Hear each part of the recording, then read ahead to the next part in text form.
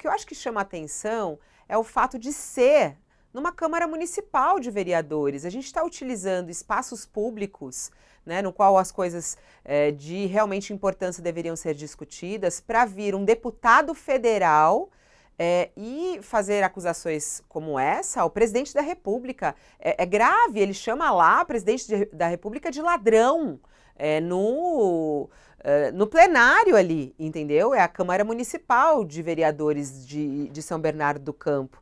É, e o uso do, desses espaços é, públicos para homenagens desse tipo. E que, que homenagens são essas também, né? E aí tem esse tipo de reação e que mostra essa violência do brasileiro quando o assunto é político e quando o assunto é Bolsonaro e Lula, né, Thales?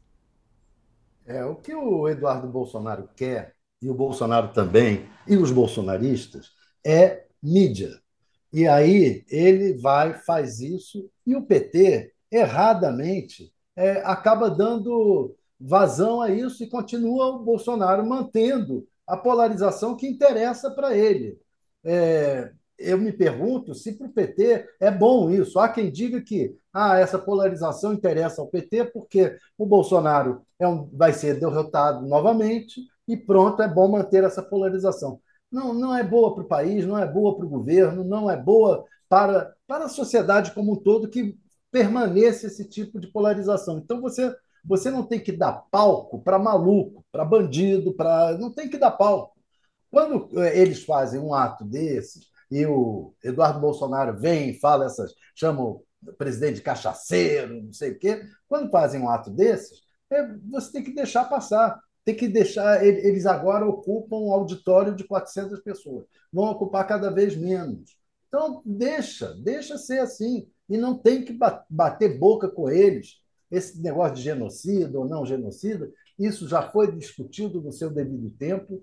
A CPI do, da da Covid já chegou às suas conclusões, é, acusou o, o, presidente de responsabilidade, acusou. E pronto, fica nisso. Tchau e benção. É. É.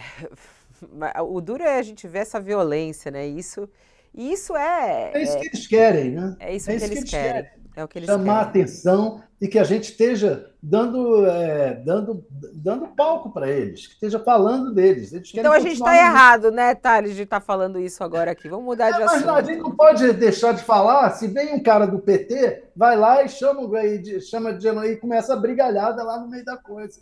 Uhum. Quer dizer, quando, quando cria um fato, a gente vai ter que ir. E eles querem é isso.